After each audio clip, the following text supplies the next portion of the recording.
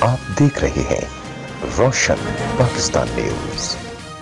کہ پاکستان میں بننا شروع ہو گئی ہیں، تو اس لیے انشاءاللہ ہم تمام جو ہمارے سرکاری ہسپٹل ہیں یا جہاں کہیں بھی ضرورت ہوگی، انشاءاللہ ہم اپنے ڈاکٹرز کو کسی صورت میں رسک پر ایکسپوز جو ہے وہ نہیں کریں گے۔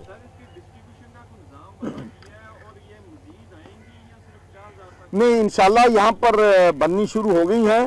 تو یہ مزید بھی آئیں گی اور انشاءاللہ حکومت جو ہے اس کے پاس بھی ریزورسز ہیں کہ کٹس ہم خرید کے بھی ڈاکٹروں کو دیں گے۔ تو یہ جو سپلائی ہے، یہ کنٹینیو رہے گی۔ اور میں سمجھتا ہوں، ایک بات میں آپ سے شیئر کرنا چاہتا ہوں اور پوری نیشن سے شروع۔ ہے جب قوموں پہ مصیبت آتی ہے، تو اس وقت ان کی ایبلٹی کا پتہ چلتا ہے کہ وہ کرائسس کے ساتھ کس طریقے سے ڈیل کرتے ہیں۔ جو چیزیں آج ہم اپنے میڈیکل ریلیٹڈ چیزیں پاکستان میں بنا رہے ہیں شاید اگلے دو تین سال، پانچ سال میں ہی نہ بنا سکے۔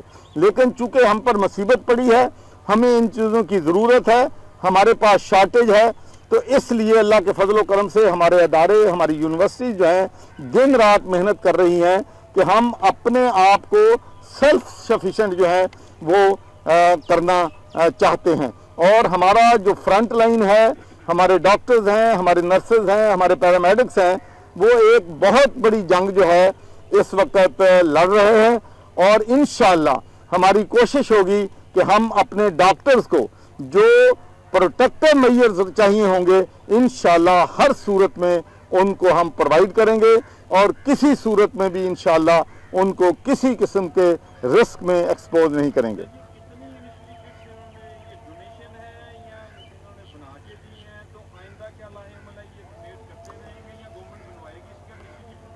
مجھے بڑی خوشی ہوئی ہے کہ آپ چیز جو ہے اس کی تیہ تک جاتے ہیں۔ تو یہ جو پچاس ہزار کٹس ہیں، یہ آپ سمجھ لیں کہ گیٹس کی ہمارے لیے ڈونیشن ہے۔ اور انہوں نے یہ ساری جو ہیں، فری آف چارج، ہمارے جو ہاسپٹلز ہیں، ان کو یہاں پر پہنچیں گی۔ اور میں ان کا بہت ہی مشکور ہوں کہ ماشاءاللہ گیٹس کے ہمارے چیف ایگزیکٹو بھی یہاں پر پہنچ گئے ہیں۔ ان کا بہت ہی شکر گزار ہوں کہ انہوں نے ایک کروڑ پچیس لاکھ روپیہ جو ہے یونیورسٹی آف ہیلتھ سائنسز کو سپانسر کیا ہے، جس کی وجہ سے یہ پروجیکٹ جو ہے، یہ مکمل ہوا ہے اور ایسے مخیر حضرات پہ بحثیت نیشن ہمیں فخر ہے۔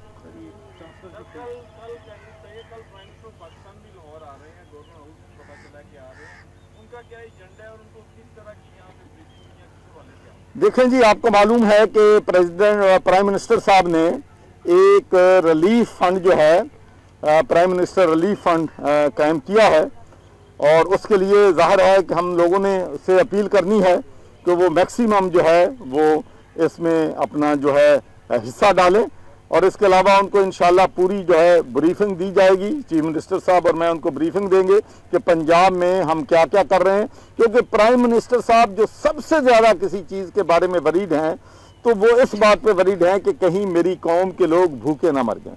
تو اسی لیے انہوں نے دو سو ارب روپے سے زیادہ کا پیکج جو ہے وہ اناؤنس کیا ہے۔ اور کل وہ مخیر حضرات سے اپیل کریں گے کہ وہ بھی ان نیک کاموں میں آگے بڑھیں۔